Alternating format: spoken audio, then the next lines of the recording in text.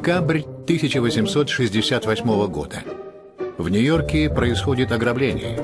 У министра финансов Роберта Уокера неизвестные прямо на улице отнимают 16 тысяч долларов. Гигантскую по тем временам сумму. Газетчики тут же заинтересовываются, откуда у государственного служащего такие деньги. Уокер был известен тем, что горячо агитировал в прессе и коридорах власти за покупку у России полуострова Аляски.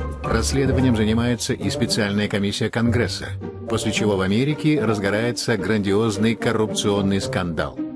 У меня в руках список взяточников, э, определенных спецкомиссий Конгресса Соединенных Штатов Америки. Все они за определенное вознаграждение так иначе вмешивались в процесс купли-продажи Аляски. Итак, взятку общей суммой 73 300 долларов получили 10 членов Конгресса. Около 40 тысяч владельцы, редакторы – американских газет, а более 20 – адвокаты. Но кто же давал им эти взятки и за что? Э, примечательно, что в разгар американского коррупционного скандала кое-что необычное происходит и в России. Из страны буквально сбегает человек, который подписал с американцами договор об уступке Аляски.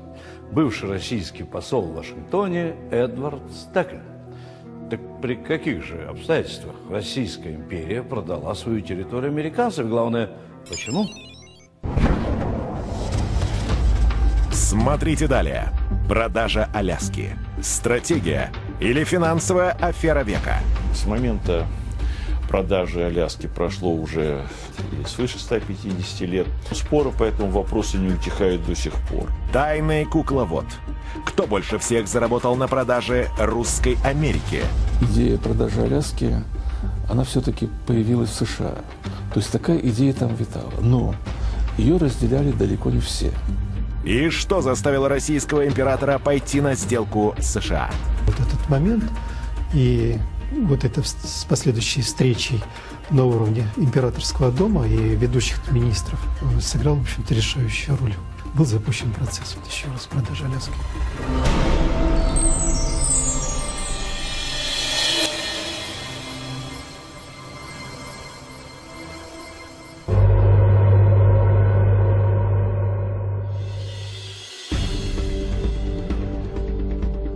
Конце марта 1867 года редакторы петербургских газет через Атлантический телеграф получают сообщение из США.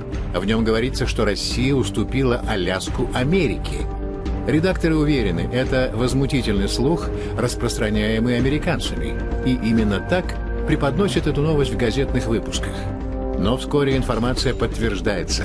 Россия действительно продала свои земли Америке – и сделала это так, что в полном неведении оказались почти все высокопоставленные чиновники Петербурга, а также правители русских поселений на самой Аляске.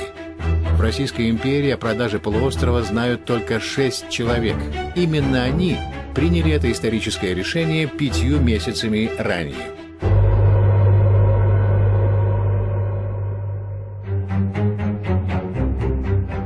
Совещание в парадном зале МИДа назначено на час дня. В зале собираются министр иностранных дел князь Горчаков, министр финансов Рейтерн, управляющий морским министерством вице-адмирал Краббе и, наконец, брат царя, великий князь Константин Николаевич. Последним входит сам император Александр II переговоры о продаже Аляски и э, все связанные с этим э, моменты, связанные с обсуждением, как в американской правящих кругах, так и в кругах близких к Александру II, в тот период э, являлись э, частью секретного процесса. Это надо очень хорошо понимать, что это был секретный переговоры, и все решение принималось в обстановке полной секретности. После небольшого обсуждения присутствовавшему в зале послу России в Америке Эдварду Стеклю поручено сообщить правительству США, что Россия готова уступить им Аляску. Против продажи никто из участников заседания не возражает. Совещание, решившее судьбу Аляски, было настолько секретным, что на нем не велось никаких протоколов.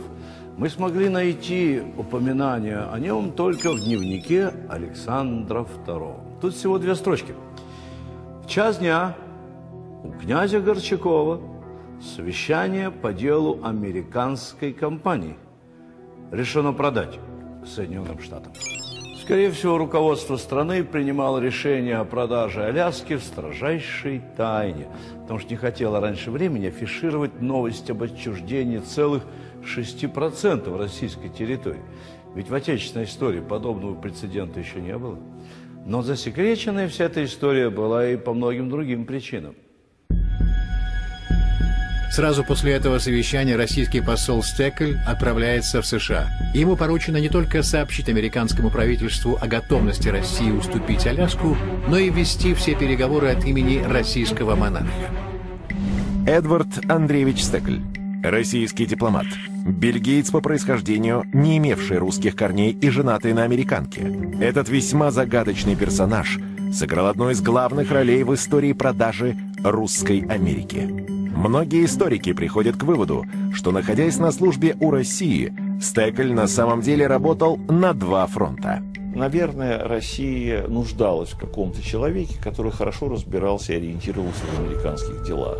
Но вот эта вот потребность подобного рода представителей имела и свою обратную сторону, потому что где-то, начиная уже с начала, с момента своей дипломатической деятельности, Стекль фактически проводил э, линию, которая была направлена на интересы Соединенных Штатов Америки. В США Стекль просит госсекретаря США Уильяма Сьюарда о срочной тайной встрече, на которой сообщает ему решение российского императора по Аляске. Но при этом подчеркивает, что официально предложение покупки полуострова должно исходить от американской стороны. Госсекретарь, обрадованный визитом Стекля, обещает в ближайшее время переговорить с президентом.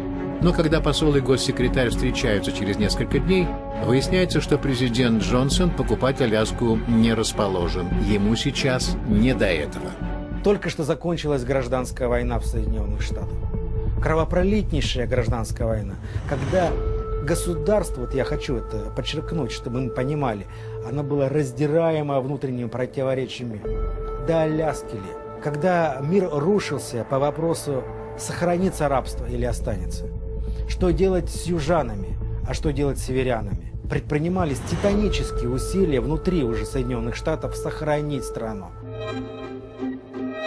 Сьюарда и Стекля позиция президента Джонсона по Аляске ничуть не смущает. Эти два дипломата твердо намерены провернуть сделку во что бы то ни стало. Они задаются целью совместными усилиями сделать так, чтобы высшие круги США захотели купить Аляску.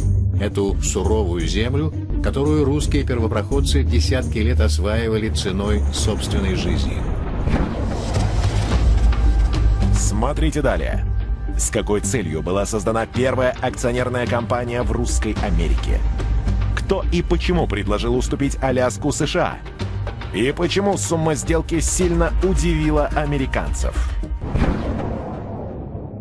Был открыть э, Америку, но э, с тем, чтобы продолжить э, развивать отношения, скажем, с Испанией, которая было известно, что она здесь на побережье Тихого океана, Калифорнийская Испания, и Китай, и Япония очень интересовали Петра Первого. И, конечно, указание было и э, начальник экспедиции Берингу, и Чирикову в ходе, скажем, исследования этой береговой линии и возможной высадки на берег, искать какие-то металлы более-менее драгоценные – Аляска происходит от индейского слова «аласха» – китовое место. Но вовсе не киты и не драгоценные металлы в конечном итоге привлекают на полуостров десятки российских купцов. А вот что с самого начала интересовало русских купцов на Аляске. Шкурки обитающего там морского бобра – калана. Этот мех самый густой в мире. На один квадратный сантиметр приходится до 140 тысяч волосков. В царской России мех калана ценился не меньше. Золото одна шкурка стоила целых 300 рублей, примерно в шесть раз дороже элитного арабского скакуна. Особым спросом мех калана пользовался у богатейших китайских мандаринов. Первым человеком, который предлагает не просто добывать на Аляске пушнину, а прочно закрепиться здесь, был купец Григорий Шериков. Благодаря его усилиям на полуострове появились русские поселения и постоянно действующая миссия православной церкви. Российской Аляска была на протяжении 125 лет. За это время колонисты освоили лишь небольшую часть огромной территории. Были действительно, можно сказать, герои своего времени, потому что они не просто управляли, а им удавалось а, взаимодействовать мир, мирно с а, местным населением. Были, конечно, вооруженные столкновения, но если представить десятки тысяч аборигенов и горстка русских, разбросанных на огромном расстоянии, силы, мягко скажем, неравные. А что они с собой принесли? Они принесли с собой культуру, образование, новое отношение к аборигенам. Аляску населяют несколько племен. Но быстрее всего русские поселенцы находят общий язык с алиутами и кадьякцами, которые обладают уникальными навыками добычи морского бобра. Русских женщин в этих суровых краях мало, и колонисты часто женятся на местных девушках. Объединению русских с аборигенами помогают и православные священники. Один из них, святитель Иннокентий, впоследствии был причислен к лику святых. Он прибыл на Аляску простым иереем, оставив хороший приход в Иркутске, когда узнал, что в Русской Америке некому совершать богослужение. Уже потом, будучи митрополитом московским, вспоминал, что я пережил на Уналашке, даже сейчас мурашки бегут по телу, вспоминая в, моск... в московском доме у камина. А приходилось ездить в собачьих упряжках. Плыть на маленьких лодочках, байдарках. По 5, 6, по 8 часов плыли, когда по океану, а там большие волны. И вот святитель Иннокентий так ездил по островам, он никогда не отказывался от того, чтобы посетить э, вот этих звавших его местных жителей. В 1799 году новый российский самодержец Павел I решает навести порядок в Русской Америке, взять под контроль тамошних купцов. Он подписывает указ о создании российско-американской компании по образу британской Ост-Индской – по сути, в стране появляется первая в истории монопольная акционерная компания, которой управляет не кто-нибудь, а сам император. Российская компания вот выступала в таком э, как бы э, двойственном состоянии. Она была, с одной стороны, и агентом государства фактически, а с другой стороны, и как бы честновладельческим учреждением. В 40-х годах XIX века акции российско-американской компании одни из самых доходных во всей империи. Аляска приносит колоссальную прибыль. Как же можно было уступить эту землю Соединенным Штатам? Впервые идею продажи Аляски в правительственных кругах озвучил генерал-губернатор Восточной Сибири Николай Муравьев-Амурский. В 1853 году он писал в Петербург, что Российская империя не имеет необходимых средств для защиты этих территорий от притязаний США и предлагал уступить им Аляску. Определенная угроза гипотетическая угроза существовала со времени э, создания североамериканских Соединенных Штатов. Угроза того, что все земли, которые располагаются на территории североамериканского континента, вот должны войти вот в эту структуру, которая себя стала именовать Североамериканские Соединенные Штаты. Доктрина Монро ставила перед собой задачу выдавить, выдавить э, с американского континента европейцев. Первым человеком в США, предложившим присоединить Аляску, станет госсекретарь Сьюарт, тот самый, с которым российский посланник Стекль будет впоследствии вести переговоры о продаже русской Америки. Идея продажи Аляски, она все-таки появилась в США. То есть Стекль, русский посланник в Соединенных Штатах, впоследствии докладывал, что американцы уже несколько лет предлагают продать Аляску. С нашей стороны был отказ. Ну, еще, так сказать, не, не были готовы к этой мысли. Эта карта была создана за 37 лет до продажи Аляски в 1830 году. На ней четко видно, что Россия целиком и полностью господствует в северной части Тихого океана. Вот это так называемая Тихоокеанская подкова, она наша. Но Соединенные Штаты, извольте видеть, в это время где-то в два с половиной раза меньше, чем сейчас.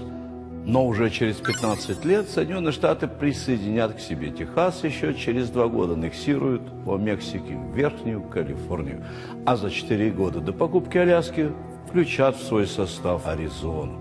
Американские штаты расширялись в основном за счет того, что за бесценок скупали миллионы квадратных километров. Как показала история, Аляска стала для американцев одним из самых ценных приобретений, а может быть и самым ценным. К продаже Аляски нас подтолкнула Крымская война. Тогда России пришлось в одиночку противостоять сразу трем державам – Великобритании, Франции и Османской империи. Главным сторонником продажи Русской Америки станет брат Александра II, великий князь Константин, возглавлявший морское ведомство. Он вел свою политику, да. Ему надо было создавать флот на Тихом океане, на Балтике, на Белом море, на Черном море. Вот, э, то есть у него хватало, в общем-то, забот. Э, то есть э, для князя Константина, конечно, Русская Америка была, скорее всего, как головная боль, да. Великий князь Константин настаивает, что Аляску нужно продавать, пока американцы не взяли ее силой. На тот момент США уже известно о найденном на полуострове золоте. В Петербурге понимают, рано или поздно американские золотодобытчики придут на Аляску с ружьями, и вряд ли несколько сотен российских колонистов смогут защитить полуостров. Лучше его продать. Впрочем, некоторые современные историки уверены, доводы великого князя Константина были необоснованными. Истерзанные гражданской войной США не смогли бы захватить Аляску в ближайшие 50 лет. В Америке не, не было ни военных, ни экономических сил. Это все было преувеличено. Последующие события это явно показали. Вот здесь как раз э, Стекль играл, ну, если хотите, роль такого блефа, дезинформации, как сегодня говорят, фейковые новости, для того, чтобы именно как бы повлиять на изменение представлений вот, российского руководства. Выходит, что российский посланник в Вашингтоне Эдвард Стекель, действуя в интересах сторонников американской экспансии, намеренно подстегивает российское руководство к отказу от Аляски. Российский посланник Эдвард Стекель в своей настойчивости избавиться от Аляски доходит до того, что в очередной телеграмме в Петербург пишут. Если Соединенные Штаты не хотят платить за Аляску, пусть они берут ее бесплатно.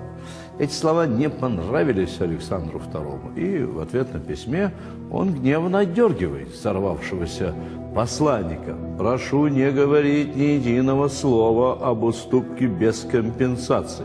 Считаю опрометчивым подвергать соблазну американскую алчность».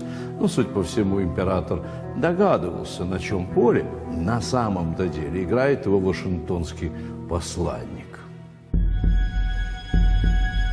Несмотря на то, что руководство США покупку Аляски еще не одобрило, российский посол Стекель и американский госсекретарь Сьюарт начинают втайне торговаться. Сьюарт предлагает 5 миллионов долларов. Стекль говорит, что такая сумма не устроит Александра II и предлагает увеличить ее до 7 миллионов. Сьюарт пытается снизить цену, ведь чем она выше, тем сложнее будет убедить правительство совершить эту покупку но вдруг неожиданно соглашается на условия российского посла. Окончательная сумма сделки – 7 миллионов 200 тысяч долларов золотом. Когда сумма сделки станет известна американскому послу в Петербурге Кассиусу Клею, он будет приятно удивлен, о чем сообщит госсекретарю Сьюарду в ответном письме. Клей ответил, я восхищен вашей блестящей работой. По моим представлениям, минимальная цена этого, этого региона составляет 50 миллионов долларов э, золотом. И я даже поражен, что вообще подобного рода сделка состоялась на этих условиях. Я цитирую почти дословно его телеграмму или выдержку из его послания, которое он направил в Государственный департамент. Таким образом, даже сами американцы в тот период оценивали э, э, так сказать, стоимость Аляски как в 7 раз большую. Ну как же можно было так продешевить? Дело в том, что купля-продажа Аляски происходит в условиях, когда обе стороны, и продавец, и покупатель, в долгах. казна России и США фактически пуста. И это не единственное, чем два государства схожи на тот момент.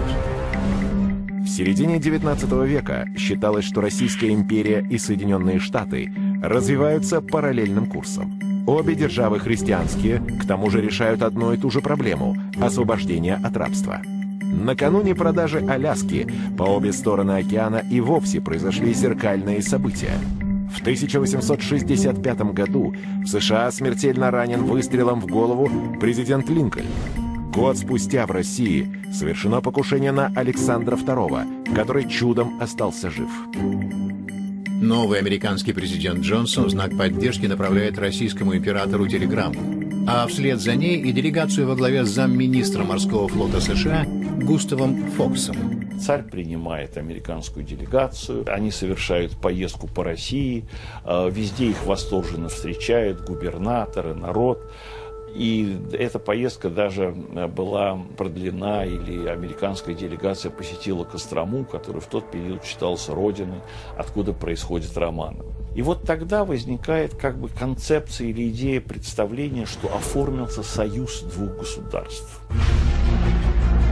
Российская империя на тот момент крайне нуждается в союзниках против Великобритании – но неужели руководство страны согласилось уступить США русскую Америку, чтобы в будущем заручиться их поддержкой? Историки уверены, у главного инициатора продажи Аляски великого князя Константина был еще какой-то мотив. Если бы мы знали, что было в голове Константина Николаевича, мы можем закрывать изучение Русской Америки на определенное время и говорить, задача решена. Пазл еще не сложился. Не исключено, что о скрытых мотивах великого князя Константина написано на страницах его дневника, который сохранился до наших времен. Но страницы, на которых должен быть описан период продажи Аляски, таинственным образом исчезли. И это не единственная пропажа важных документов. После того, как Русская Америка отойдет США, с полуострова исчезнут все архивы российско-американской компании. Американцы заблаговременно как говорится, запаковали истинные причины покупки данной территории, истинные причины и продажи, в том числе с нашей стороны, когда в договоре, связанном с продажей Аляски, был пункт, суть которого заключалась в том, что все архивы, все документы, которые находятся в российско-американской компании на тот момент, все целиком и полностью должны быть переданы американцам. Видно, было что скрывать. Смотрите далее. Как готовился договор об уступке Аляски? Что за тайные переговоры вели за спиной российского императора? Какое отношение к сделке имели банкиры Ротшильды?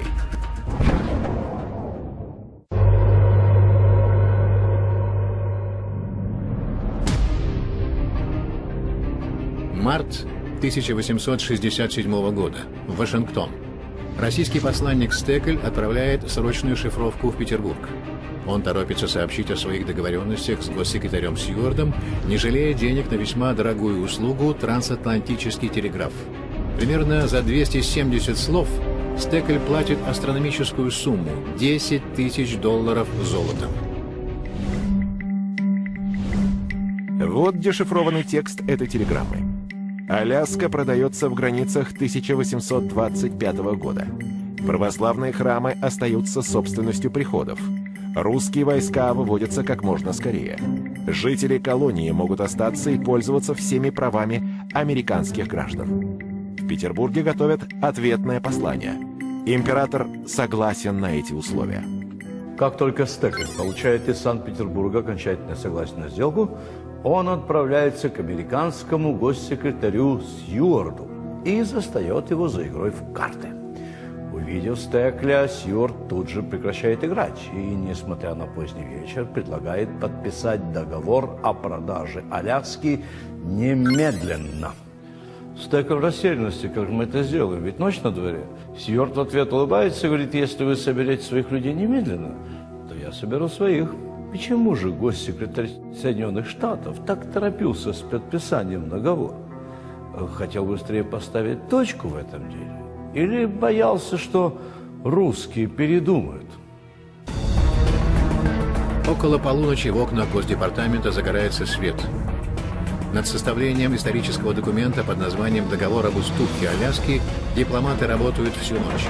В 4 часа утра он подписан Стеклем и Сьюардом. Что здесь удивляет?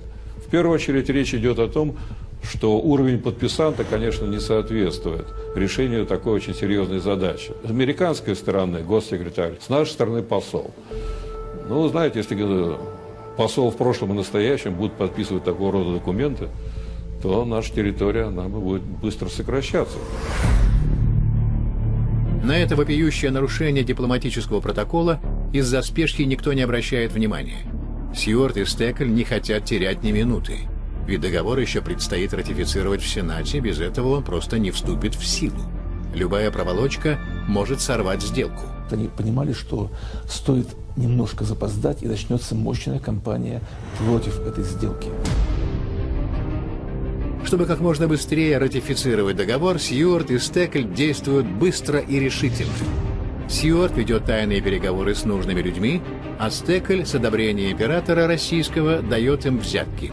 Российская сторона через Стекля давала взятки, во-первых, средствам массовой информации в лице их э, руководителей, во-вторых, конгрессменам, чтобы они проголосовали в пользу этого решения, что и было сделано. И на это ушло вот около 160 тысяч долларов золотом. Довольно... Представителя, банкира Августа Бельмонта. Август Бельмонт. Это один из э, очень таких талантливых, по мнению Ротшильдов, у которых он работал, э, финансистов, э, который возглавлял один из банков во Франкфурте. И после, вот, чем ближе, так сказать, эта сделка совершалась, он переезжает в Соединенные Штаты, основывает свой банк непосредственно в Нью-Йорке, и потом становится консультантом, советником президента Соединенных Штатов по финансовым экономическим вопросам. По договору власти США должны расплатиться с Россией в Вашингтоне, но на чеке указан именно Нью-Йорк, город, в котором Бельмонт открывает банк Ротшильдов. Все денежные операции по Аляске связаны со счетами исключительно в частных банках. Однако при таких серьезных расчетах между двумя странами, как правило, фигурируют не частные, а государственные финансовые организации. Странно, не правда ли? Американцы, когда купили Аляску, ведь до 1959 года они не определяли ее статус. Что это за территория, как ее рассматривают? Она там и под военным ведомством ходила, и в рамках, так сказать, гражданских ведомств. Что с ней делать, как управлять? В общем-то, ну, американцы руки не доходили до Аляски. А Ротшильд, он, естественно, использовал свое положение, ведь накануне продажи Аляски и про золото было известно, и про, про нефть, поэтому то, что это много... вложения многократно окупились Ротшильдом, это однозначно. Интересное совпадение. Российская империя на тот момент тоже тесно связана с Ротшильдами финансовыми узами.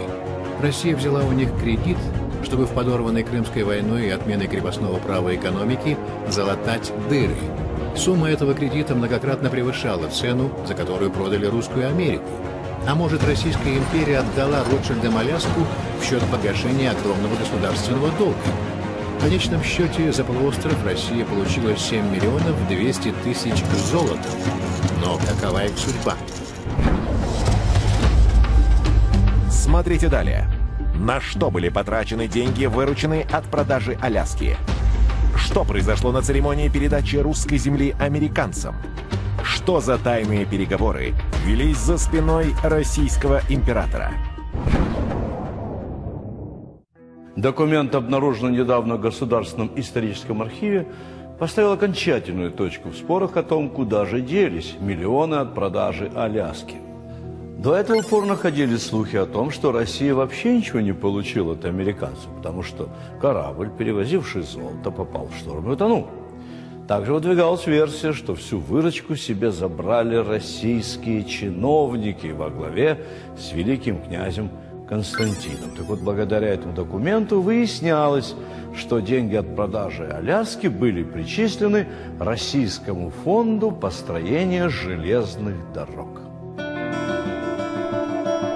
Документ, найденный историком Александром Петровым в историческом архиве Петербурга, представляет собой небольшую записку – Кому она адресована и кто ее автор, неизвестно. За уступленные североамериканским штатам российские владения в Северной Америке поступило от означенных штатов более 11 миллионов рублей. Из них большая часть израсходована за границу на покупку принадлежностей для железных дорог – Курско-Киевской, Рязанско-Козловской, Московско-Рязанской и других. Оставшаяся сумма в размере около 400 тысяч поступила наличными деньгами. Деньги от продажи Аляски пошли прежде всего на закупку железнодорожного оборудования э, для строительства железных дорог, ведущих э, от Москвы в радиальных направлениях, в том числе Курской железной дороги, той самой дороги, которая, если бы она была во время э, Крымской войны, то, возможно, Севастополь бы не сдали, потому что по ней можно было перебросить такое количество войск, что ситуация в Крыму, война стратегическая, просто бы качественно изменилась. Записка о расходовании средств от продажи Аляски обнаружена среди бумаг о вознаграждении тех, кто принимал участие в подписании договора с американцами. Согласно документам, орден Белого Орла и 20 тысяч серебром от императора получил посланник Стекль. Однако после продажи Аляски в России он не задержался.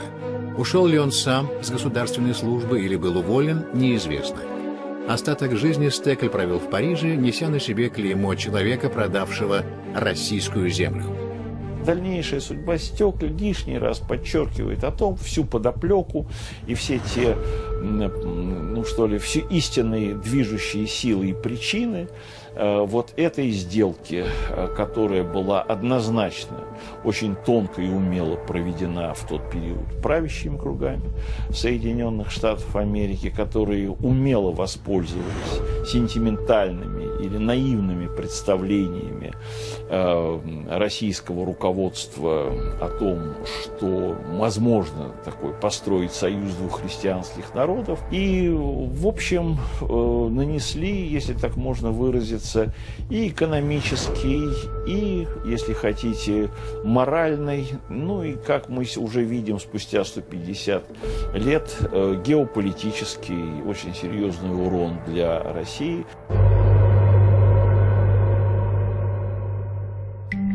В Новоархангельске проводят торжественную церемонию передачи Аляски США.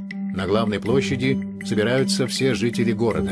Под барабанный бой и 42 залпа из корабельных орудий начинают спускать российский флаг. Вдруг происходит неожиданный казус. Флаг цепляется за флагшток и остается на нем висеть.